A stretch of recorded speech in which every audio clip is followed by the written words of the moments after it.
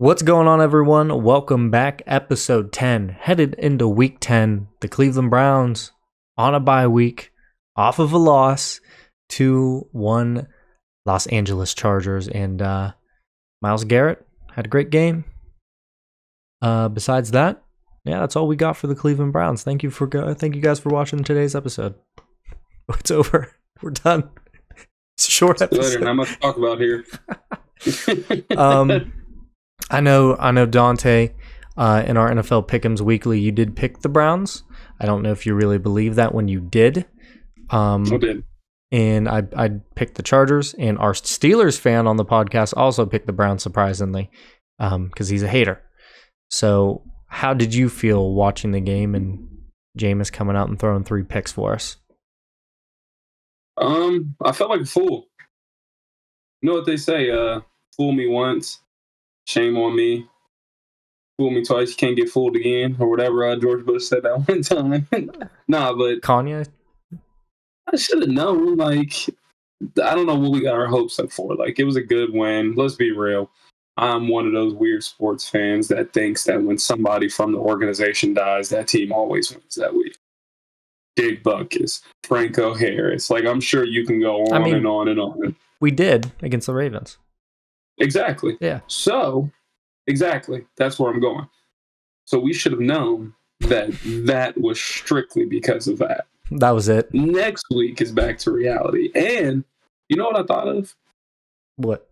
Remember you were talking about Jameis coming in and not getting our hopes up because after his first game he started, I think as a Saint, he did almost exactly this. In the next game, he like had like hundred yards or something like that. Welcome back. History once repeats itself again, doesn't it? He is who he is. Um, I mean, of course, I thought the game was going to go a little different, but fooled me, Cleveland. You fooled me. Yeah, it, it was a rough day. I mean, for our offense, defense, and special teams all in one Yeah. didn't look good. And um, No. I mean, our defensive line played good. Um, our defensive line actually got to the quarterback, and we played the run decently well. Although the What, Chargers, yeah, around there. I mean, every a lot of players got tackles for losses as well. And um, I know you know the Chargers don't have the best run game in the NFL. They had you know the first two weeks where they went crazy, but since then, no, not Mhm. really. So is that really to our D line or just not them not having a good run game? Who knows? We'll see as the you know season progresses. But like to go to offense, we'll talk about Jameis since we talked about him a little bit already. But yeah, he is who he is. And um, the one thing that we see different from him and Deshaun is he's not afraid to throw the ball because what does he have to lose? Nothing. Everyone knows who Jameis is. He don't even care. He probably Yeah. does a little bit, but it's not going to change his career at all. Yeah. And I mean, Nick Chubb looks like Nick Chubb decently. I mean, you see the vision. He a lot of the times on pass blocking, he'll pick up that linebacker blitzing in, or maybe the D end or a D tackle that gets through. Pretty damn good chop block here and there. Uh, but he's not fully, you know, back to being Nick Chubb. And I saw a lot of people talk about it that this injury, it's not like he just had a minor tear. He just he destroyed everything in his knee. Everything Yeah, you got a whole new leg essentially. not not just an MCL, not just an ACL, everything. And um no, you're good. And it's probably going to take a year or two from when he started to come back to be that Nick Chubb that he once was, averaging five and a half yards per carry. It's just not going to happen right away. He doesn't have that explosiveness yet. Um, but you know, from the offense, not very good. The the the shining parts of it is Cedric Tillman looks all right, uh, better than all right. He looks good, and Jerry uh, Jeudy looked good. Jeudy looked good. Elijah Moore's on a rookie contract still, so that's a good thing maybe. Um, Dawand Jones, I guess, uh, starting at left tackle, will start next week, I believe, at left tackle. He showed promise, um, and I mean, that's that's about it for the offense. I know. Eh, I'll let you spew a little bit on the offense, and I have a little bit of stats about our offense as well. Um, so the offensive line uh, went back in reverse again. Um, Jameis was put on his back a lot. granted, uh, the Chargers do have a pretty good defensive line. They do have a solid defense. Um, Jameis just didn't look the same. wasn't getting the ball out quick. wasn't decisive. Um, I don't know if there was a different game plan from this week to last week, but all the people who were crazy about Ken Dorsey, oh, Kevin Stefanski's play calling was the problem. Come back down to reality now, people. Welcome back. Back down to reality. Welcome back. Here we are, two and seven. It's a bye week, and somehow we're still going to lose. But listen, I've been saying it since maybe week two. The, the, it's too far gone. We got seven losses now. Playoffs are out the window. Yeah. Out the window. Yeah, absolutely. I mean, I think you and I realized that after we were two and four, or what, one and four at the time.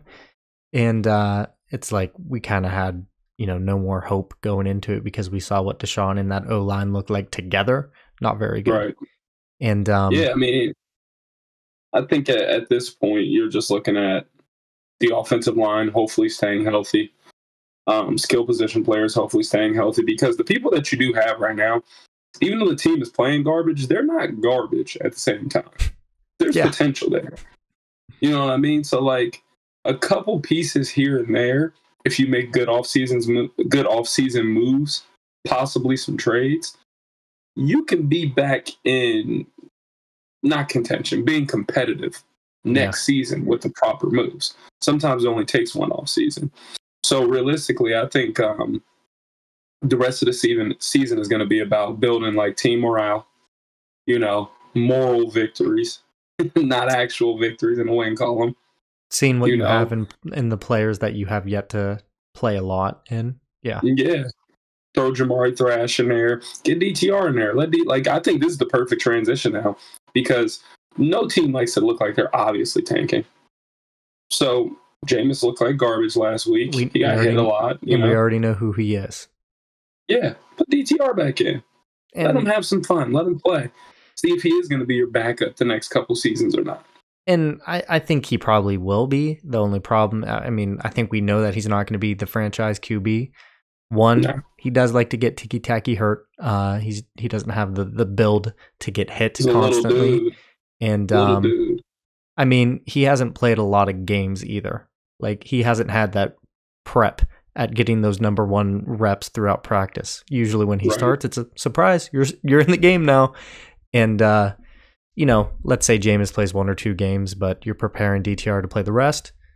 Uh, that's a good move. I think you get, you get to see what you get out of DTR. If he plays well, you know, maybe moving on to next year, you know, he's worth something. Maybe you trade him away, whatever. Um, I will hit on the offense here real quick. Um, I did see this on Cleveland Browns Daily per Nathan Zegura that uh, we did talk about Cedric Tillman a little bit. Uh, through the last three weeks, he is tied first among all wide receivers with at least 32 targets. Um, well, he's yeah, he's tied first with all receivers with 32 targets. That's the most. Uh, he's tied second with three touchdowns, fifth for 255 total yards receiving, and second with 403 air yards. So you know, Jameis just letting that thing go in the air, deep balls to to Tillman for the most part. And uh, fantasy owners, have you ever started him? Uh, he's number one over the last uh, three weeks in PPR leagues. So Is Cedric Tillman a pickup? Maybe it looks like. I mean, the last three weeks he's been putting up some numbers for people. Um, gonna check waivers and see. and I mean, we that's a pretty, pretty good cover for our offense. I mean, we kind of know. Uh, Jedrick Wills, uh, we'll get to it. Might be traded, who knows? But if we keep him, he might be moved to to right tackle. Maybe he can play guard. Who knows what you can get out of him? But definitely not going to be in at left tackle. Uh, I think they should keep him. I don't think he has much value to be honest. So you might as well keep him and just move him around and see what you got. This this rest of the season is just an experiment. Yeah. It's a science experiment. You're just gonna be throwing shit inside of beakers trying to see what sticks and blows up. That's really it. basically. So I mean, we'll we'll move to the defense real quick, uh, and then we'll we're gonna move to obvious trade rumors and what players we would like to see and what players would like maybe to go a little bit just to get some value out of them. Um, Our defense, Myles Garrett, like we said, three sacks. Uh, those four plays in a row that he had, or three plays in a row that he had, were absolutely insane. Um, our defensive line looked good. Uh, and mm, DBs, we had a little miscommunication in the backfield multiple times, uh, giving up Two deep. touchdowns.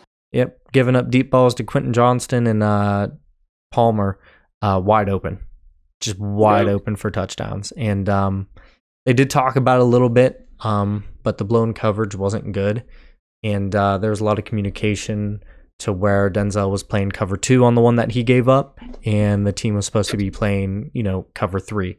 So he gave up that deep third. And another, Do you know, do you, do you know what I? Let me interrupt you real quick. Do you know what I like about that though? that Did you see the post game pressers? that he, you know, took the blame. He took the blame, and then Juan Thornhill didn't shift blame nothing. He said, "No, no, no, no, no. That's on me." So like, even in some of the worst moments, you still don't see teammates like calling each other out, which is good because that lets you know that like they're still playing for each other out there. Yeah. We just suck.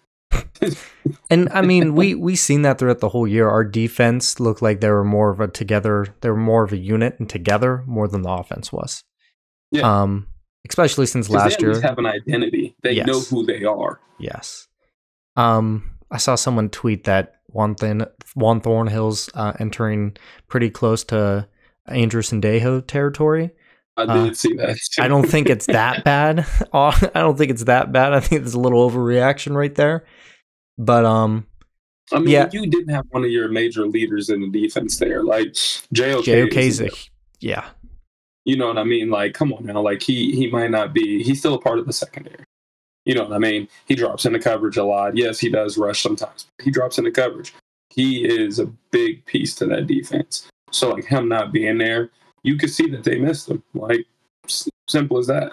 and I think he's undoubtedly a Pro Bowl linebacker. Um, obviously He's he's our second best defensive player. he snuck in last year, although I don't think he deserved to sneak in. I thought he deserved to be an automatic Pro Bowler, to be honest. for sure. Um, He's our second best defender behind Myles Garrett. yeah, and Denzo has looked a little shaky over the past couple weeks too. Um, I mean, our our DBs in general kind of shaky. Um, that's really all I have for the defense. Our defense played good, but gave up a lot of busted coverages to where we. I mean, it's week nine. We can't really have that miscommunication on you know what coverage we're actually running. Uh, it's Right. something that we definitely need to have pat down, and it's not like Jim Schwartz is switching up the defense uh, crazily from last year with signal calls and things like that. Right. Um, the only thing I have to say is is uh, something uh, a sentiment that I've uh, been echoing over numerous episodes is um, you know my uh, want for the Browns to trade Myles Garrett. Um, you know, my buddy said the defense played great, the offense played like shit. Wrong. The defense gave up two wide open touchdowns, which was 14 out of what the 27 they scored. And I mean, you know what's crazy? They did play good. They did play good slash great, but it's if you give up those two plays, that takes it all away. Yeah, and it's it's a different game. You're playing a different type of game, only down 14 3, 17 3, stuff like that. But I said this a couple weeks ago, and I also compared to uh, TJ Watt. Um, a couple weeks ago, when the Steelers played, was it the Giants? When the Giants were kind of storming back, Mhm. who who made a really big play at the end of the game? TJ Watt. Was it a strip sack? He might have.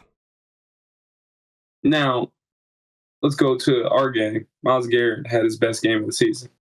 Three sacks.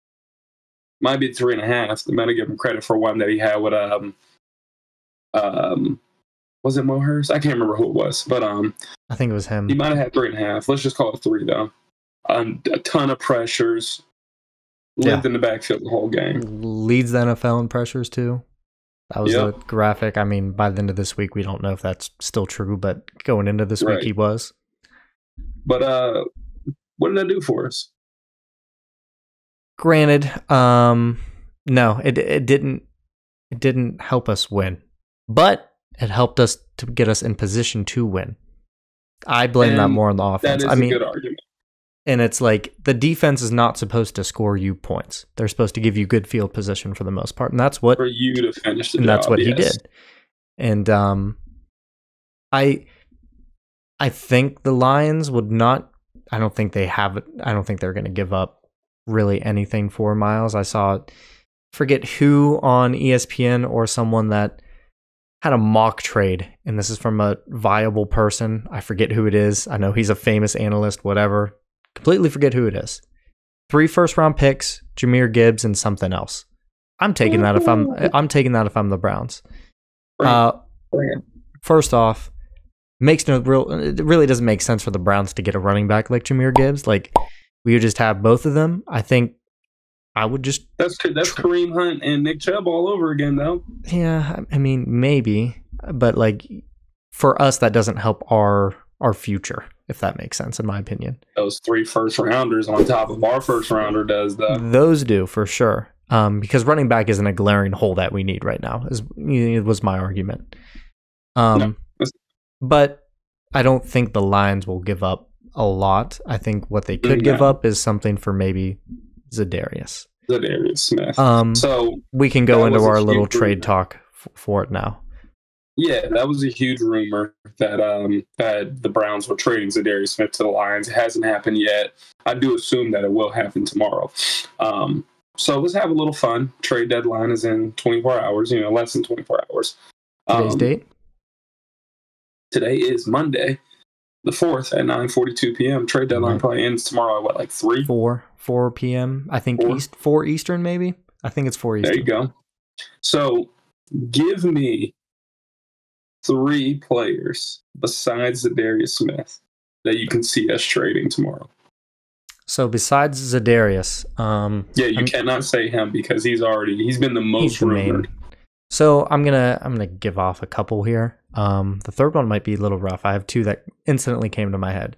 I talked about it already. Jedrick Wills. I think if there's a team that is competing right now for Super Bowl and they just need depth, or they're struggling with O line a little bit, you go get a guy that has played multiple multiple games. And of course, he hasn't looked the greatest, but he's definitely a dude that's going to be better than probably maybe your second or third string. Um, Right. Next, one of our DBs, maybe Greg Newsome. Um, a lot of teams like the Packers, Washington, need some need some DB help a little bit in their push. Do we get rid of one of those? Um, and lastly, third, I'm trying to think of who I would really get. Like, okay, I got two more. Quinton Jefferson's look good, and Shelby Harris's look good. Um, you can definitely get rid of those two because, I mean, they're not going to be in the long term for us. They're both definitely older players. They're not old, but they're older, and they can definitely go to a competitor that is trying to win now as well. So I can see Yeah. those four Okay. players uh, getting getting traded away for picks. Okay. Um, I'm in the same realm, a little different. Um, I'm going for value guys. So I'm thinking um, Greg Newsome is definitely one that I can see. He was already rumored to be traded this offseason, this past offseason. Yep. Number two might surprise you. I'm thinking Wyatt Teller. Now I know you're thinking in your head like one of our best linemen. Why would we trade him? Well, you got one good lineman and a host of four bad linemen Yeah. get the value out of the guy you got number one start from scratch all over again he's still young he's still very good a little 29. starting to get a little injury prone but i think he holds the most value for you so wyatt teller greg newsome I can see david njoku get moved i can see a world where a team wants a good tight end that's a position where a lot of teams don't have you know somebody like if you're the packers tucker kraft ain't bad Imagine if you throw David Njoku in with that group. Oh You yeah. know, if you're uh, a like, look at the Dolphins, Jonnu Smith. Tell me they wouldn't want David Njoku. or a double tight end set with John and David. You know what I'm saying? I definitely could see that. So one of my arguments is I don't want to see Njoku go. If I am owner, GM, Cleveland Browns, I'm not getting rid of Njoku for one pretty big reason. Uh, I think he's a big part in the team and the morale of that whole locker room. Like if you think of Cleveland Browns players and how they play, Njoku is one of those dudes that is a Cleveland Brown mentality. Um, Garrett, Ward, and Joku. Those are four Yes. dudes. And when you think Cleveland Browns football, those are the four that come to mind. Yes. And Njoku is young. Um, you can definitely get decent out of him. Um, trade value and a lot of things like that. I wouldn't get rid of him because one, I think you can definitely re-sign him and he can be a long-term Browns a, a Brown player. And um, I just think he's he's too not too good. Obviously, he's not great, but I think he's too good to get rid of now. Uh, I mean, if the only thing that sucks is the Deshaun Watson contract. If we didn't have this um, lingering over our head, I don't think we would even be talking about trading a Joku. I think it'd I be mean, like the Lions did move on from TJ Hockenson and went and got Sam LaPorta the very next year. And I don't know what they traded TJ Hockenson for, but I feel like they didn't get as much value back because I'm pretty sure TJ Hockenson take him 15 pick. So, Lions sent TJ Hockenson to the Vikings for a swap of several draft picks. Of course, it's not going to give me the list of them. Why? Why would it? Um, Lions receive a second round pick, a 55th overall pick, a third round pick, uh, which is the 73rd pick, and two other picks that were traded to one the Chiefs and the Broncos. Um, I mean, the Vikings didn't get a lot of not bad stuff in return. They got Hockenson, a fourth round pick, uh, two fourth round two fourth round picks, 2023 and 2024, and that was traded to select Dallas Turner. Um, so I mean, not terrible. Uh, I mean the the Lions lucked out in getting LaPorta. I mean, they didn't get LaPorta, then it's it's they lose that trade, obviously. I want to see what pick TJ was. Um, in the draft, Yeah. I can look it up for you. Maybe. Maybe not. Pick eight. I thought he was top 10. I thought so. Yeah. I didn't want to say eight.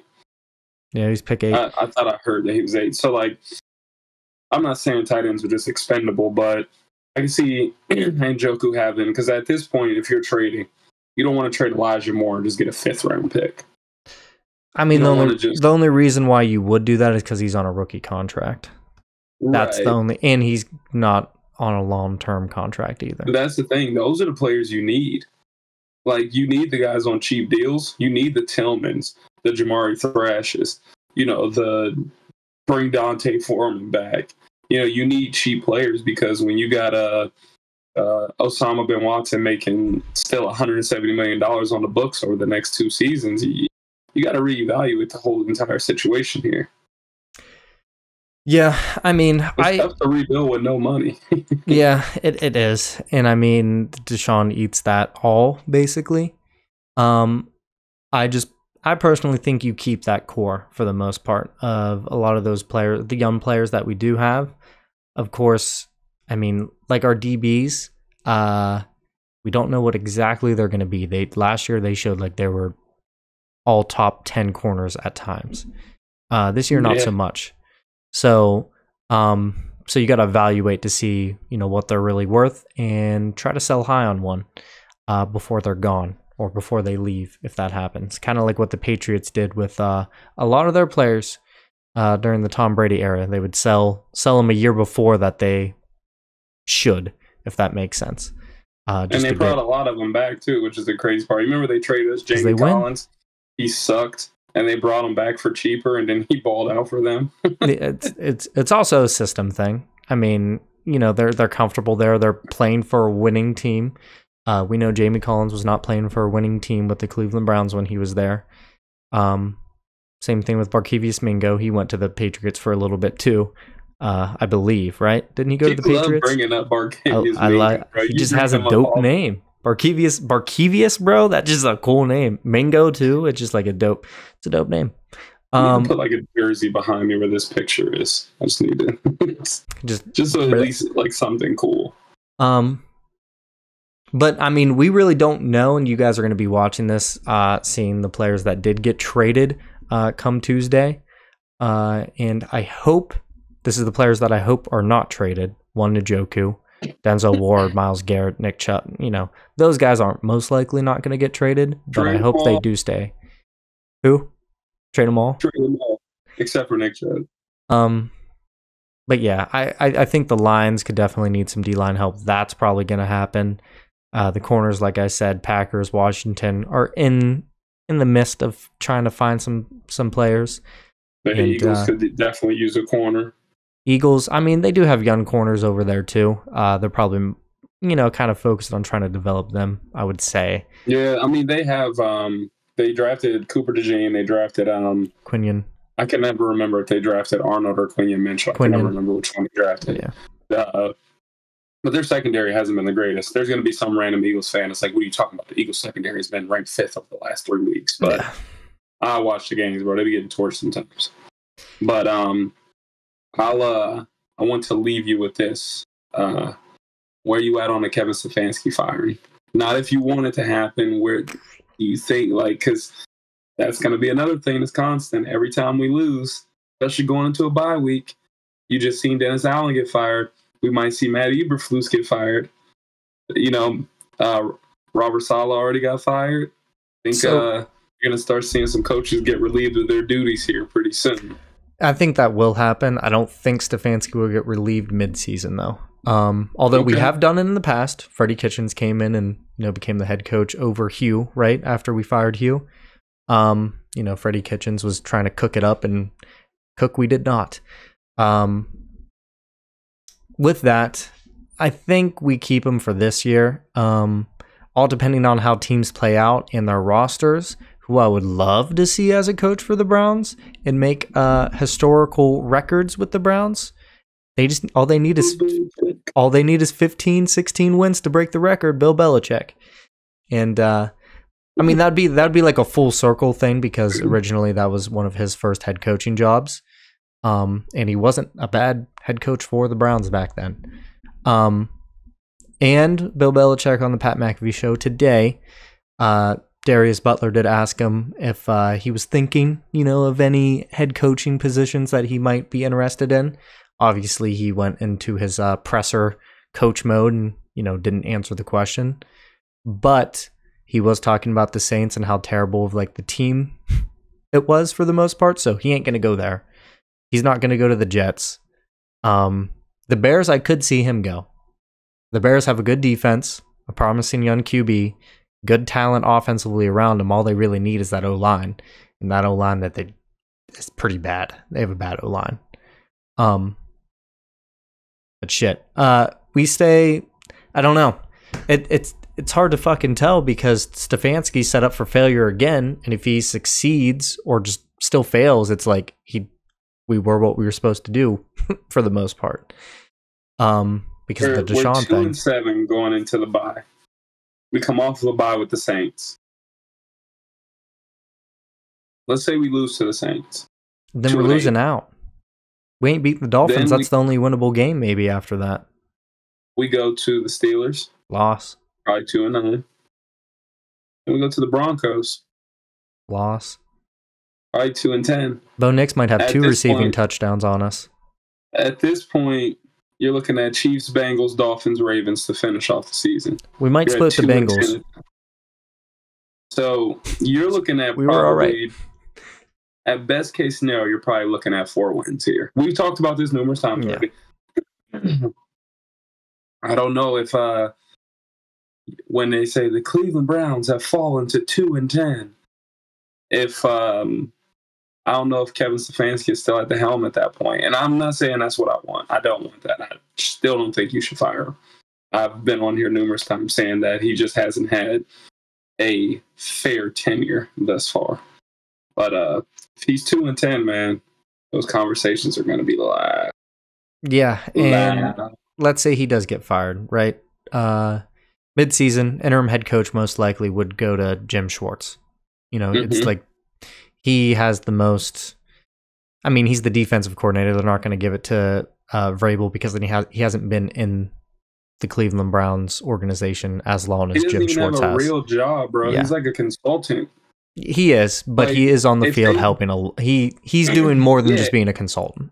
if they did that, they would be like, "This is what you guys wanted all along. Why didn't you just say that?" Like, yeah, I mean, I could see a world where Schwartz becomes a head coach and then Vrabel becomes DC, and they're like working together now. Vrabel made his money as a DC before he went to a head coach. He was a very good head coach with Tennessee.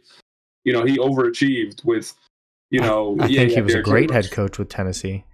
Yeah, he won the division and won 11 games, I think, back to back years. Uh, yeah, Derrick Henry was going crazy, but he also had Ryan Tannehill at quarterback.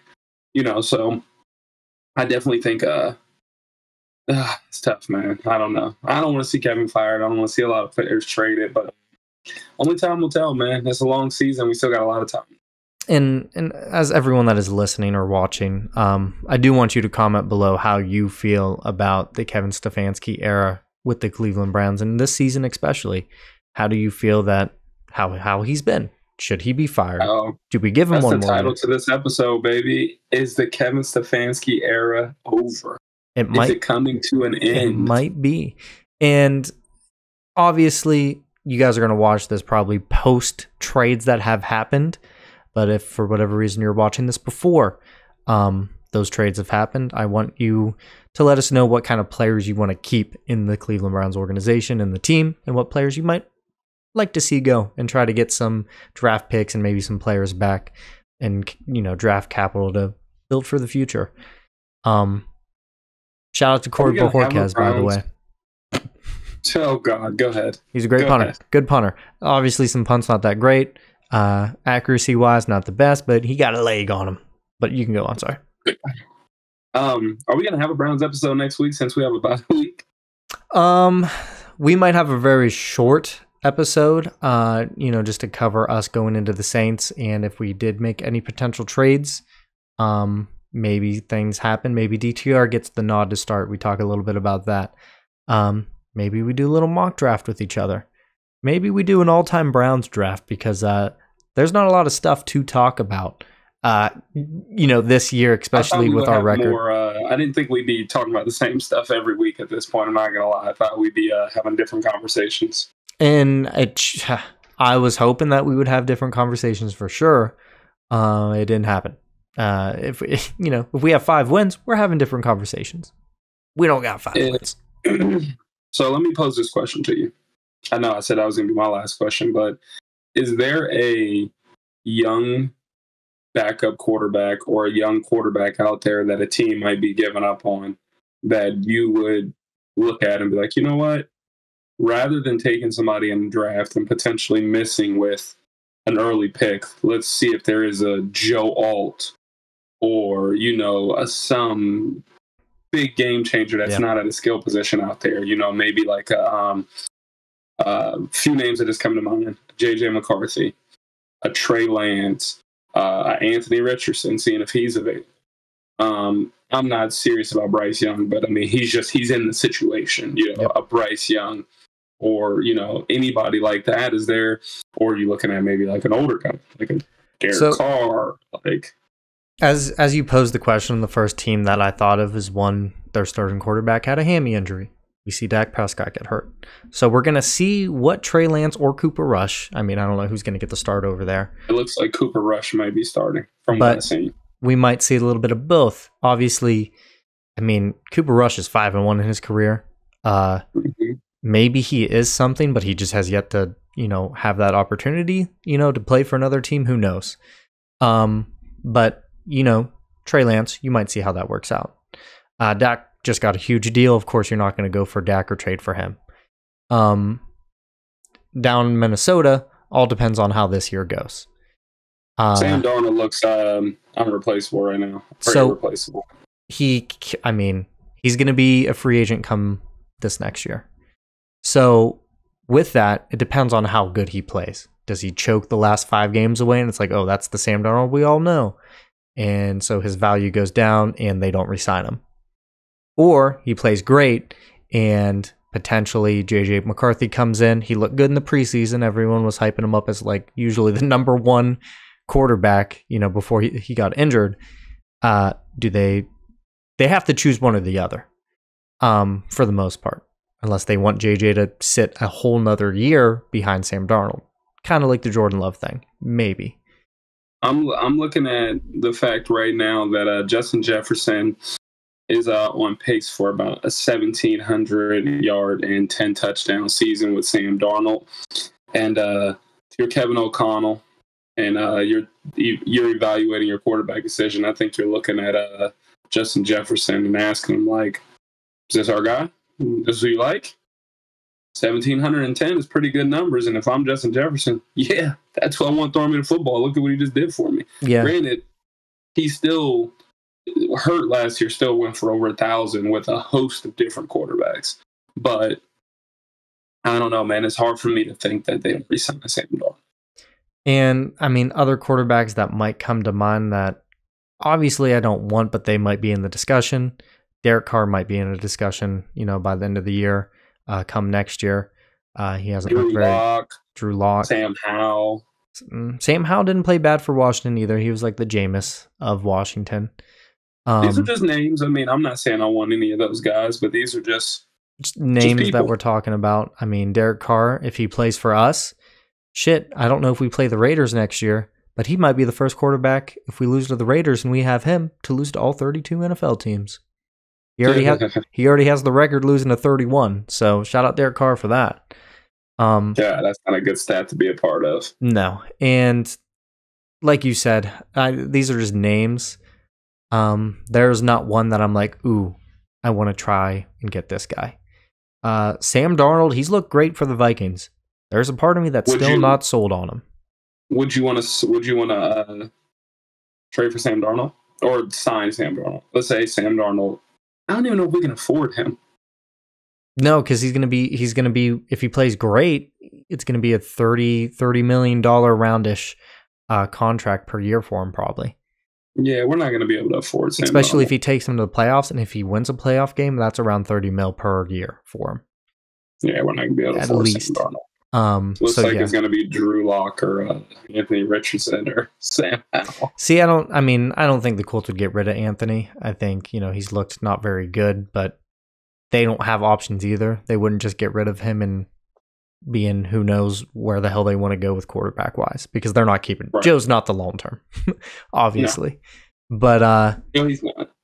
none of those quarterbacks, uh, you know, make me very interested into next year and wanting to sign them. Sadly, um, I know that you can go get that on our merch. I know Ball Network.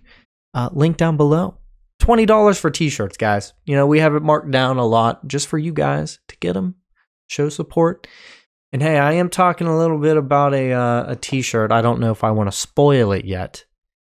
Um, I don't think I brought. I haven't brought it up to anybody. I thought it on the way home actually. But uh, just think of it. It's going to be a, probably a white T-shirt, and it'll have letters all over it. It could be anything actually. You don't even know what I'm even talking about anymore. It has to do with a rapper, by the way. So I'll give you that little hint. Um, but, anyways, any anything from you before? Nah, he might be from Canada. Yeah.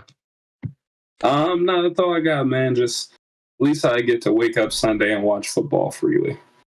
Yeah, you get to watch. Nah, not exactly. You got to stress about your fantasy teams first. Listen, I'm whooping cooking? ass this year. You cooking? Eight and one and seven and two, big dog. Damn.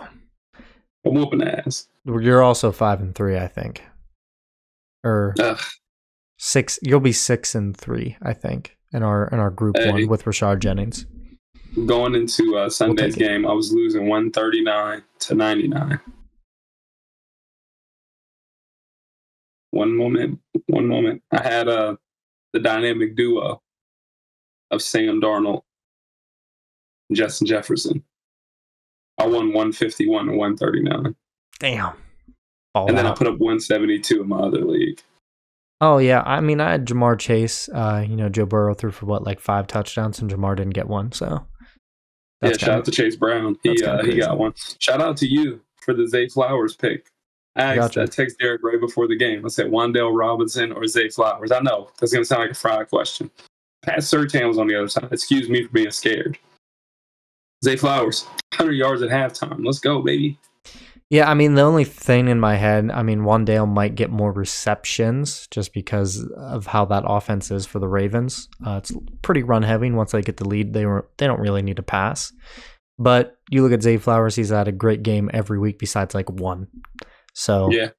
um, Well, he'll be a must start from now on yeah, for now. because Um, Wan'Dale had four. So yeah, I mean, it's you can never and quarterback plays also a question for whoever you have. right. Uh, I had Courtland Sutton and Bo Nix in two different leagues, and it was one of the craziest notifications that you see on your screen to where Courtland Sutton just threw Courtland a, t- threw a touchdown pass. Bo Nix receiving touchdown. I'm like, what? and it, and it was a it was a hell of a touchdown too. Dude's a dog. Put him out receiver, line him out wide like like uh, Johnny Manziel with uh, Josh McCown and the Cleveland Browns uh, back when hmm McDaniels was the was it Shanahan and McDaniels uh, OC and like uh, quarterback coach. Uh, maybe we need those guys back. Bring those guys back. Uh, we we need um, we need everything, bro. We're depressed. It is what it is. Yeah, we need everything. It's been about 40 minutes for you guys listening, uh, just us yapping about the Cleveland Browns. Uh, you guys let us know any questions that you might want to hear from us. We'll comment down below to you.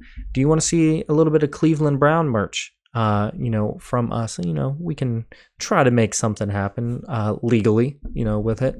So, comment, like, subscribe, and hey, if you guys are watching still and listening, small favor, just small favor. If you guys do click on our videos, we're finally monetized, so you will see ads. If if it's not a very long ad, like even a 15 second, I just ask of you to watch it all the way through because that is the only way we would get any money from it. Uh, if you Please do watch it. if you do skip ads, um, we don't see anything from it. Now, I don't blame you if you get a two minute and 30 second ad. I don't blame you because I would not Go pee wait. real quick. Yeah, Just or go real pee. quick. Yeah, get up and pee. Uh, go rub one. Just kidding. Thank you guys for watching. Comment, subscribe. We'll see you guys next week, and hopefully the Browns don't fuck up bye week. Don't lose. Hopefully they don't lose.